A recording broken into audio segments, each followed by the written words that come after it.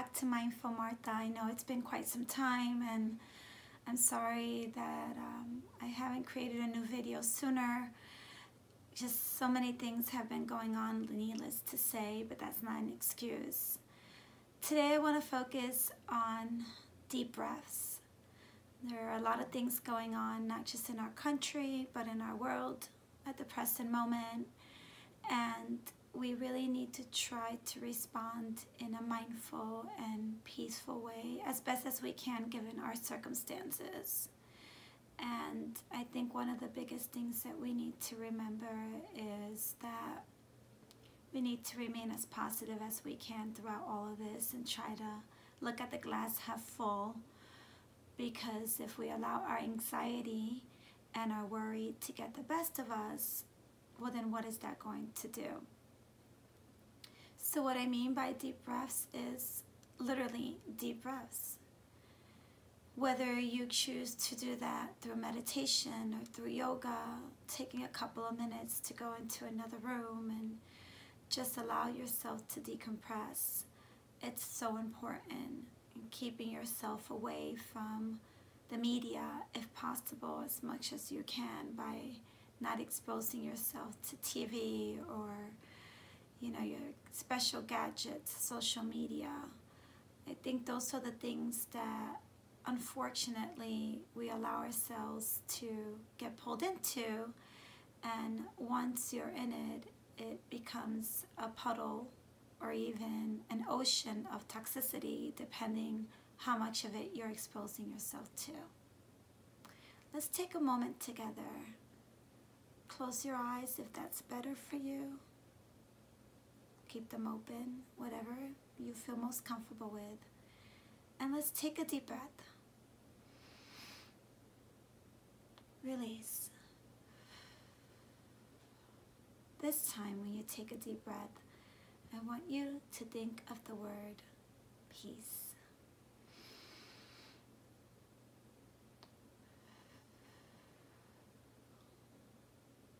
Now, this time, I want you to think of the word gratitude.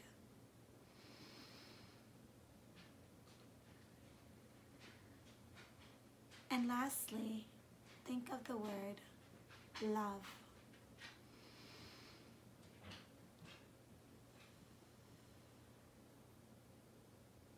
If you just take a minute to do this a few times a day, I promise you, you're going to feel better. But right now in our world, we really need to find the good in everything that as much as we can. Obviously there are not such great things happening at this moment. But I do believe that by us looking at the positive side of things and trying to stay focused on those things such as our health and the health of our loved ones and making sure that we are maintaining as much as possible the calmest state as we can for ourselves and our families is the best that we can do. It's the best gift that we can give ourselves and the people around us. Allowing ourselves to be in hysteria and being angry or sad and the list goes on, it's only gonna allow those negative things get the best of you. And I do believe the best medicine is to trying to keep ourselves in the best state as possible. So I encourage all of you to continue to take those deep breaths.